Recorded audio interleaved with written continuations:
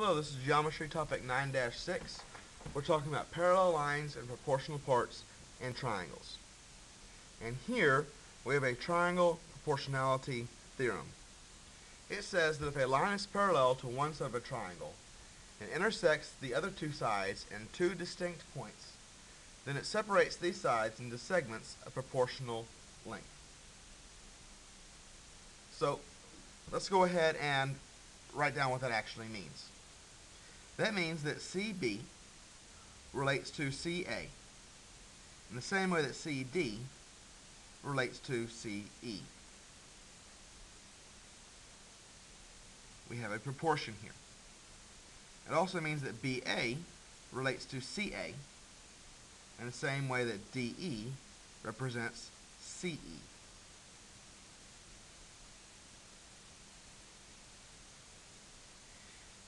It also says that CB relates to BA as CD relates to DE.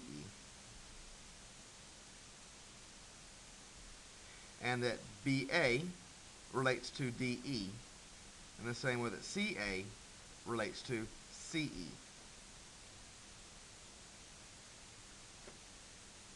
Basically what it means that if these are parallel, then we have a lot of proportions that we can use. Okay? Some other things that I want to point out is that 1 and 4 are corresponding angles, so they're congruent. And 2 and 3 are also corresponding angles, so that they are congruent. Uh, that may pop up, uh, and may not, but it's something that you should be able to know. So let's go to our first example. We want to find the value of x. So we're going to set up a proportion. x over 1 equals 8 over 2. It's really that simple. x over 1 equals 8 over 2. We cross multiply and divide. 8 times 1 is 8 divided by 2 is 4.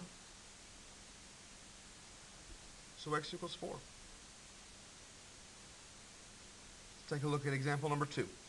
Same thing, but they've turned the triangle around for us. So we're going to set this up as 3 over 5 plus x is equal to 4 over 8 plus x. This one over that one equals this one over that one.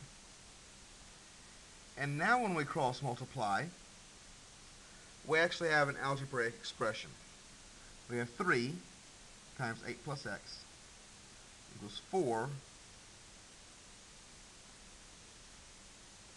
times 5 plus x. So we have 24 plus 3x equals 40 plus 4x. Subtract 3x 24 equals 40 plus x. Uh, subtract 40. Uh, 24 uh, on 24 minus 40 is negative 16.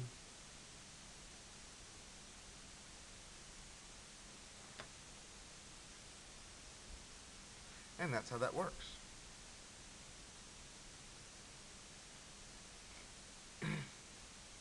Um, just double checking my answers a little bit.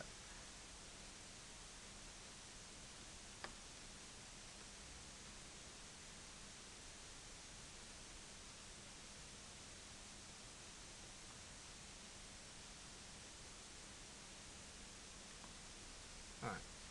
Just wanted to make a look because this answer actually doesn't make any sense as far as x goes, but nevertheless, algebraically this is what we get.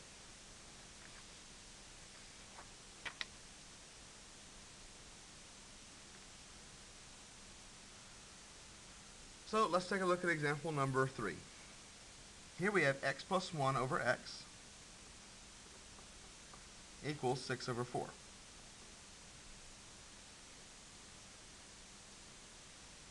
So we cross multiply and we get that 4 times x plus 1 equals 6x. So 4x plus 4 equals 6x. subtract 4x. We'll get that 4 equals 2x. So x must be 2. And on number 4, we have that 6 over y is 9 over 2x plus minus 1.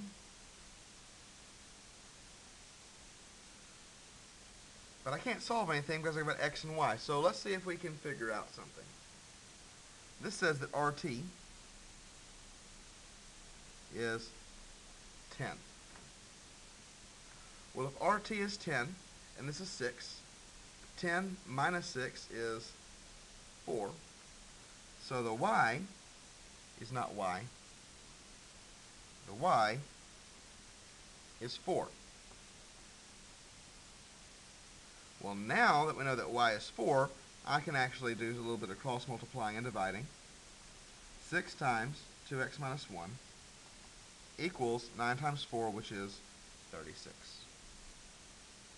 Now, normally I would say distribute. However, I know that 36 will divide by 6. So that will give me 2x minus 1 equals 6. Add 1, 2x must equal 7. So x equals 3.5. Again, you could have distributed and solved. Um, you didn't have to. Hopefully your understanding of algebra is such that you can still get this. If you need me to work it out with it distributing, please let me know in class and I will show you how to work this out with distributing. Let's go ahead and look at our next theorem.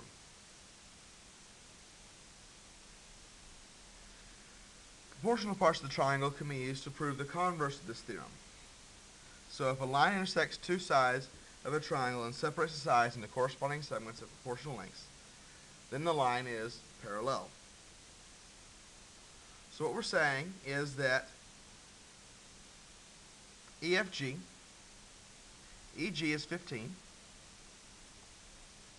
EH is 5, LG is 12, and FL is 6. We want to determine if these are in fact parallel. Well, the whole thing is 15. 15 minus 5 means that this piece is 10. So does 5 over 10 equal 6 over 12? Yes, it does. So that means that HL is in fact parallel to EF.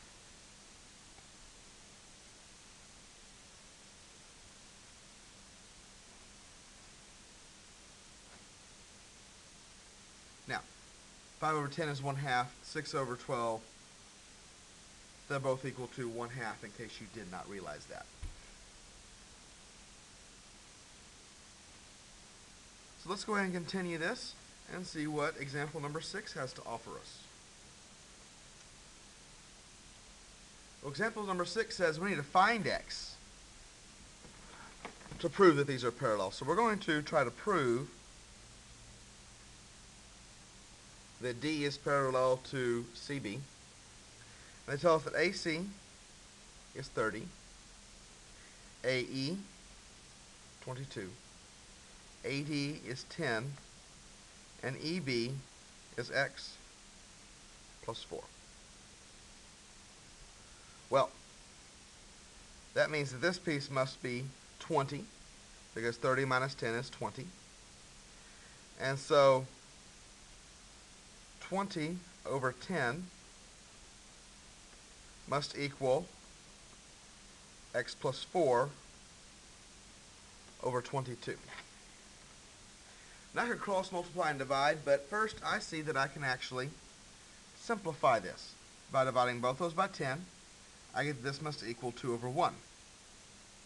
So now when I cross multiply, I get that x plus 4 must equal 44. When we subtract 4 from both sides, we get that x must equal 40. So this was actually solving just like we solved on the other page. The question was just worded a little bit differently where they said we want these to be parallel, so what is x? All right, let's take a look at our third theorem for the day. A segment whose endpoints are the midpoints of two sides of a triangle is parallel to the third side of the triangle, and its length is half the length of the third side. What that says is it says that if I have a mid-segment that is, well, every mid-segment will be parallel. So if I have a mid-segment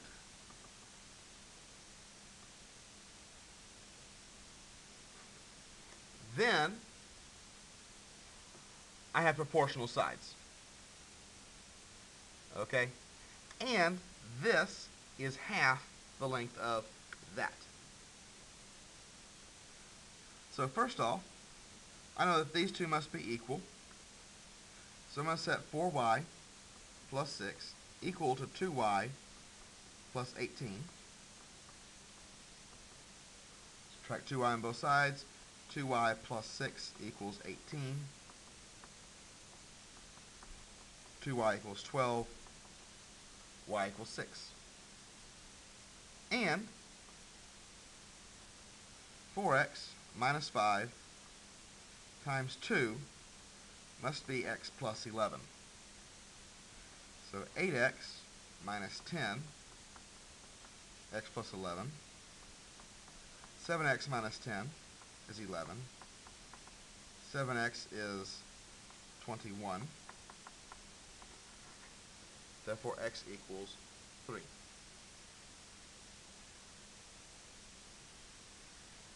Hopefully the algebraic steps on the second half you know. Um, if not, then you need to desperately practice your algebra so that you are uh, capable of doing the geometry problems. Okay. Again, I distributed by 2, subtracted x, added 10, divided by 7. And now we're on number 8. Same thing. 2y plus 18 is going to equal 5y minus 3. 18 equals 3y minus 3. 21 is 3y, so y is 7.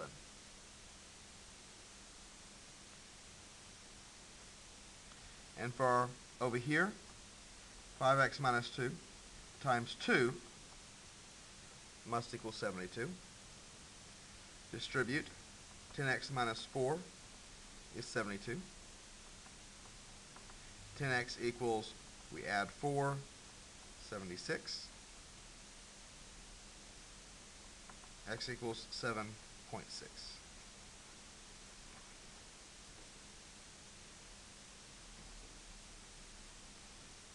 So, um, this is mostly just setting up proportions, uh, solving, some cross multiplying, um, and a little bit of setting equations equal to each other for this mid-segment. Um, all in all, there's not a whole lot that is new except for now you know the relationships between these, and then the rest is just algebra. So, have a good day, and good luck on your assignment.